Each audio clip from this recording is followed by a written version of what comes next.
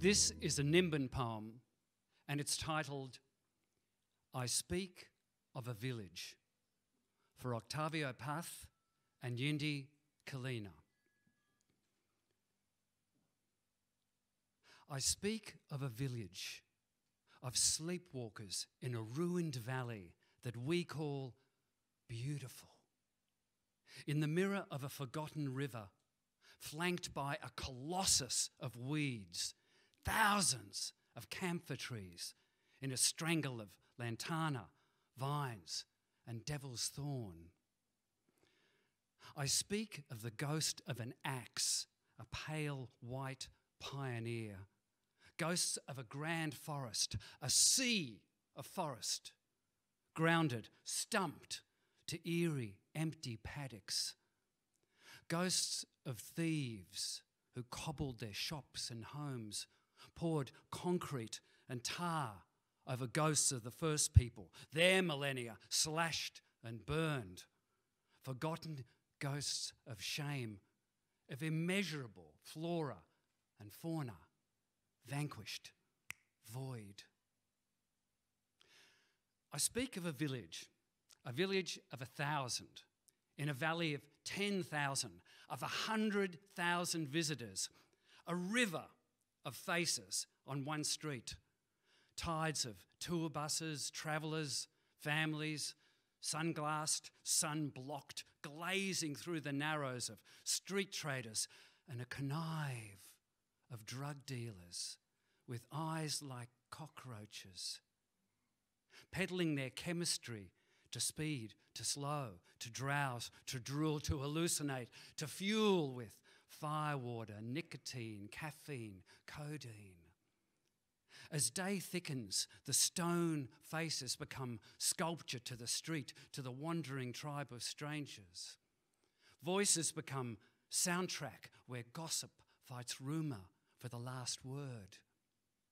The village swells, invisible people evaporate in the vertigo of car fumes, coffee cups, a graffiti of caps, t shirts, bags, and tats. A rotation of lovers sitting with lattes, speaking of pixels and terabytes, and festivals taking countless photos of each other.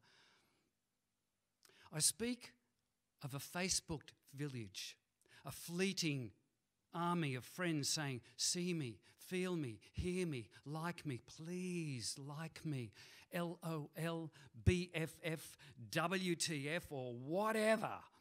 A party town, a whirlpool of parties, a festival of smoke and drink, a merry-go up and down and round on a drugged dance floor under a blaze of constellations.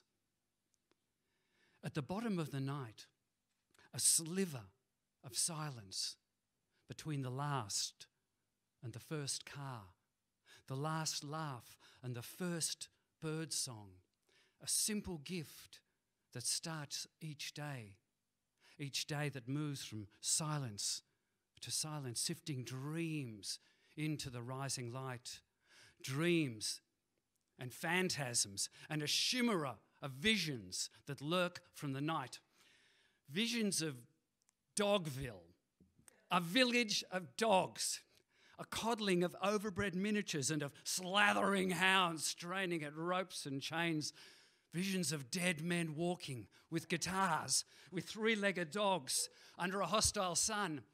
A black three legged cat, a tatter of prayer flags, a python neck scarf, a face tattooed as spider webs, visions of tanned, beautiful people speaking French, Spanish, German, Italian, Chinese, Japanese.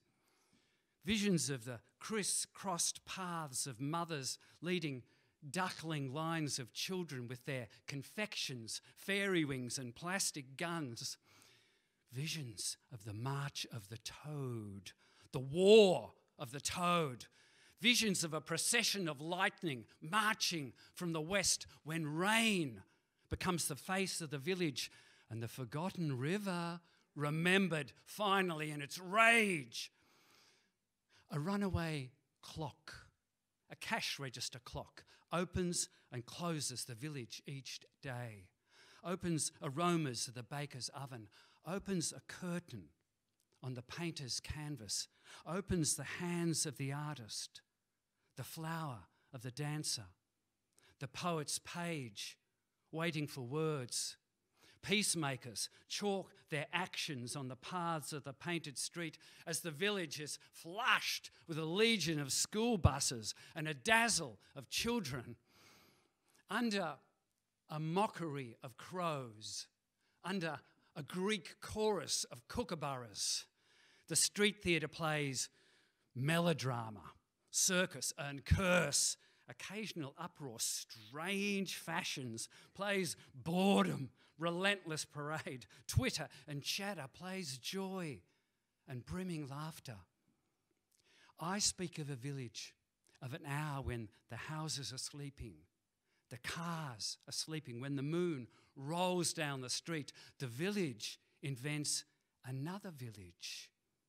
Buried idols of dead singers in their harlequin and rainbow and crushed velvet and bandanas, carrying guitar cases, mandolins, and dulcimers to a hushed stage of candles and incense. Apparitions ramble the night into pieces, into the weight of years.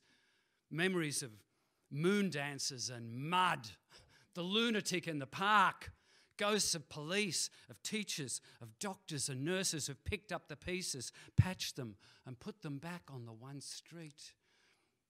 A village of four empty churches, locked curios that open one hour each month, where the aging faithful whisper words to a saint or a virgin or a god who left town years ago.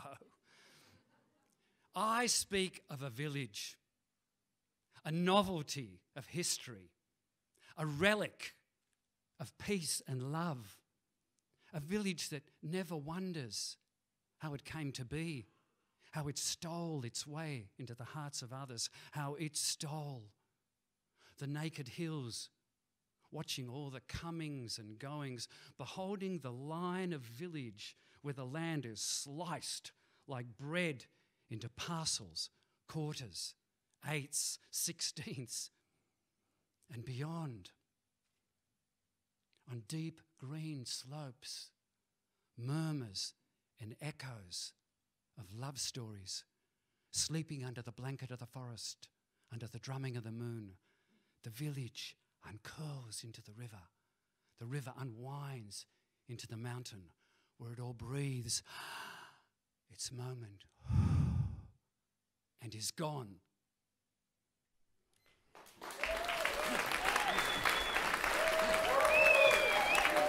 Thank you. Thanks very much.